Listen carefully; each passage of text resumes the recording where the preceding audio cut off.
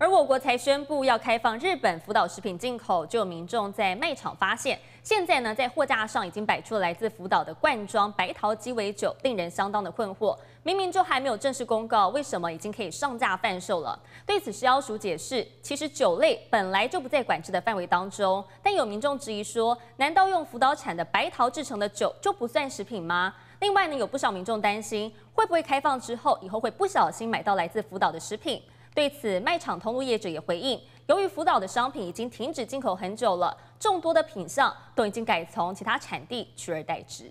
你说福岛，是不是今天才开放吗？来到卖场，却看到货架上已经摆出福岛产的这款白桃鸡尾酒。那原产地是千叶县，没错。只是福岛五县食品八号才宣布解禁，最快要在十八号正式公告后才能进入台湾。难道是业者抢先贩售吗？那个时候在管理的时候，没有把它放到食品这一块，酒是可以进的，因为它也不一定就是高风险。从医学上，假如有的话，当然也会影响到我们人体的健康。我相信日本政府他们一直有在做一些管理，单单酒酒精饮料的话，就不晓得他们是。是看日本方面的一些报告呢。仔细看，酒精含量百分之三，果汁含量百分之七，果汁还比酒精还高。但由于我国没有把酒类产品归类在食品，是由财政部负责管理，一直以来都没有被管制。但令人疑惑的是，水果酒喝下肚也一样会被人体吸收。不少民众也担心会不会误买到福岛食品。觉得还是要避免一下吧。对啊，但是这是政府的政策，我们也没办法。进口的话，几乎我都。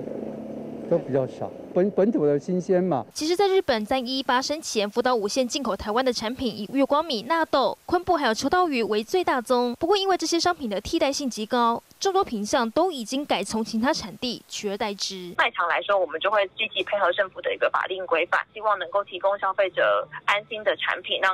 让消费者做选择。只是开放进口宣布的突然，卖场业者到底要不要设置服食和非服食专区，来增加消费者的购买辨识度，也都还在等政府给个明确方向。而面对福岛食品即将扣关来台，我国的核能检验所也持续扩充检验量能，要替民众的食安把关。这台北综合报道。